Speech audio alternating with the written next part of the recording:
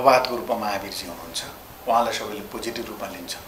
किनभने उहाँको शैली स्वभावका कारणले प्रस्तुतिका कारणले उहाँले राखेको कुरालाई सबैले सकारात्मक रूपमा लिन्छन् र हामीले सबैले मिलेर देशको अहिलेको अवस्थालाई फेर्नै सकिँदैन म भन्दैन।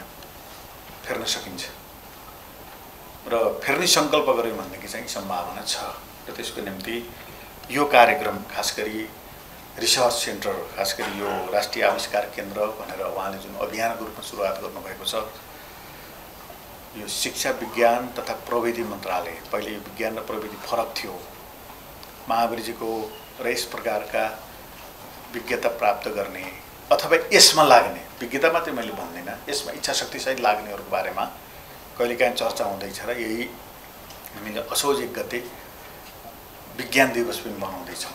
अस्कल क्याम्पस सुरुवात भएको दिनलाई मानेर विज्ञान दिवस पनि मनाउँदैछौँ। मैले यहाँहरूलाई किन स्मरण गराउन खोजेको भने हामी यो आविष्कार केन्द्रको प्रसङ्ग विज्ञान र प्रविधिसँग जोडिएको छ।